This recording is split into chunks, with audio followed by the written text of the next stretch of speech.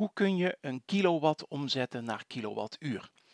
Vorige week kreeg ik een e-mail van een kijker en daar kwam onder andere dit in uh, naar voren.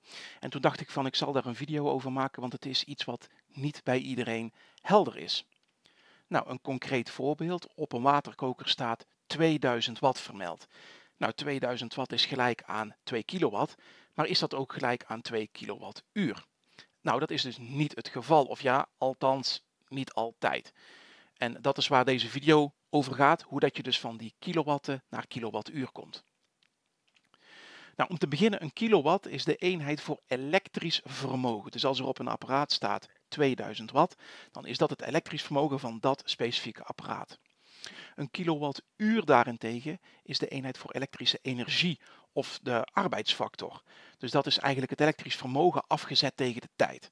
Uh, en waarom is dat belangrijk? Omdat een kilowattuur ook de eenheid is die je afrekent aan de energiemaatschappij. En daarom is het belangrijk als je een apparaat hebt die een elektrisch vermogen, dat staat erop. Maar je moet dus die translatie maken naar hoeveel kilowattuur het in de praktijk is om te kunnen bepalen wat het kost om dat apparaat te gebruiken. Nou, dan gaan we even heel concreet maken met een voorbeeld. Nou, hier hebben we de, de waterkoker weer. 2000 watt staat gelijk aan 2 kilowatt. Nou zeg je, zet hem aan met water erin en hij tikt af na 5 minuten. Dan heeft hij dus 5 minuten verwarmd. En 5 minuten, dat is 1 twaalfde deel van een uur. Nou, dan pakken we die 2 kilowatt, het vermogen, dat delen we door 12. En dan kom je uit op 0,17 kilowatt uur. Kijk, en hier zit dus uh, de arbeidsfactor bij in, het uur. Nou, die 0,17 kilowattuur vermenigvuldigen we mij uh, met 0,22 euro, dus 22 cent. Uh, omdat dat de, de, de prijs is die aan de energiemaatschappij betaalt, kom je uit op 3,7 cent. Nou, dan moet je ook nog eens een keer bij in gedachten houden dat er uh, ook een vast recht is voor de stroomaansluiting. Dat is meestal een vast bedrag per jaar wat je betaalt. Maar als je dat gaat delen door 365, dan kom je op een dagprijs uit die in Enexis gebied rond de 63 cent per dag ligt. Maar dat is dus een bedrag wat je betaalt voor een dag, ongeacht hoeveel kilowatt dat je, of hoeveel kilowattuur dat je op die dag verbruikt. Dus dat is een beetje tricky om te rekenen. Maar goed, stel je gebruikt op een dag 15 kilowattuur, dan komt er dus per kilowatt 4,2 cent bij aan vastrecht op die specifieke dag. Uh, dus in totaal komt het dan uit op die 3,7 cent plus um, uh, 0,007 euro. En dat is uh, die 4,2 cent vermenigvuldigd met die 0,17 kilowattuur. Omdat natuurlijk die 4,2 cent is voor een heel kilowattuur. En daar hebben wij maar 0,17 van nodig in dit geval. Kom je uit op 4,4 cent voor het laten verwarmen van de waterkoker. En zo kun je dus vanuit een, een vermogen wat op een apparaat staat, overgaan naar de kilowatturen en vanuit daaruit overgaan naar het bepalen van wat het daadwerkelijk in euro's kost om dat apparaat te gebruiken. Uh, het is ook goed om even in gedachten te houden dat een kilowattuur, dus bijvoorbeeld 2 kilowattuur, zoals we het in het voorbeeld hadden gebruikt, staat gelijk aan 1 uur lang 2000 watt gebruiken. Dus een apparaat dat het vermogen heeft van 2000 watt, 1 uur lang gebruiken is 2 kilowattuur. Maar het staat ook gelijk aan een half uur 4000 watt gebruiken. Of een kwartier 8000 watt, of 5 minuten lang 24.000 watt, of 1 minuut 120.000 watt gebruiken. Dat is allemaal, staat dat gelijk aan 2 kilowattuur. Omdat je dus van vermogen omgaat, overgaat naar de arbeidsfactor. Maar ja, je zult begrijpen, als jij één minuut lang 120 kilowatt uit de, uit het, uit de muur trekt, dan, uh, dan gaan er wel wat dingetjes mis. Dan worden er wel wat dingetjes heet, zullen we maar zeggen.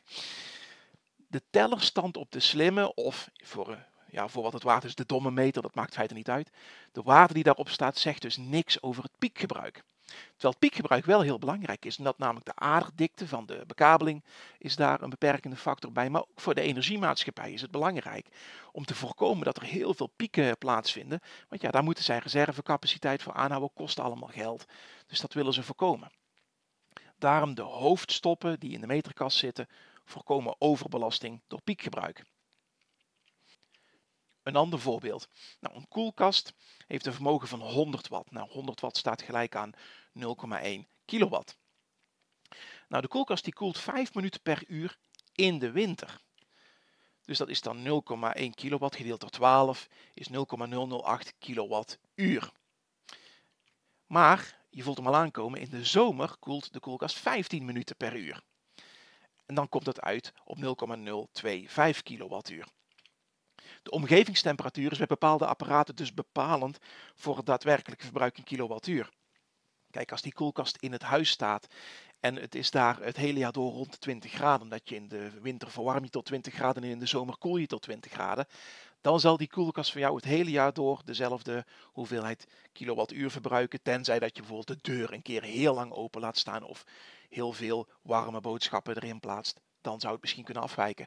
Maar mocht hij bijvoorbeeld in een schuur staan, of in ieder geval een ruimte die wat meer meegaat met de seizoenen qua omgevingstemperatuur, ja, dan zul je dus zien dat daar verschil zit tussen de seizoenen wanneer iets meer of minder vermogen gebruikt. En dan tot slot zonnepanelen. Ja, kijk, op zonnepanelen, mensen hebben daar vaak monitoring op zitten via een app. En dan kun je bijvoorbeeld iets zien, zoals je hier ziet staan. Dit komt van mijn eigen zonnepanelen. En dan zie je bijvoorbeeld 2,42 kilowatt zonne-energie nu. Ja, dan zou je kunnen denken, oké, ik heb hier de kilowatt. Ja, hoe kom je nou van zo'n getal uit naar kilowattuur? Nou ja, het zou 2,42 kilowattuur zijn als er in dat uur helemaal niks verandert aan de zoninstraling, dat er geen bewolking overtrekt en dat het een uur lang hetzelfde blijft. Maar ja, we weten allemaal hoe de zon werkt. De zon beweegt natuurlijk constant. Dus dat gaat nooit in de praktijk gebeuren. Denk ook aan bewolking of zelfs een zwerm vogels, ik noem maar even wat. Daar zal altijd verschil in zitten. Het is bij zonnepanelen daarom ook vrijwel onmogelijk om van dit soort getallen, die bijvoorbeeld in een app staan, of als eh, PAC-waarden in het display van een omvormer staan, om van daaruit naar kilowatturen te komen, omdat je met al die variabelen zit te kijken. Dat is ook de reden dat in omvormers er ook een, eh, een telling plaatsvindt. En dan zie je bijvoorbeeld bovenin doek dat de productie van vandaag uh, uh, cumulatief wordt genoemd. En daar staat het wel als kilowattuur.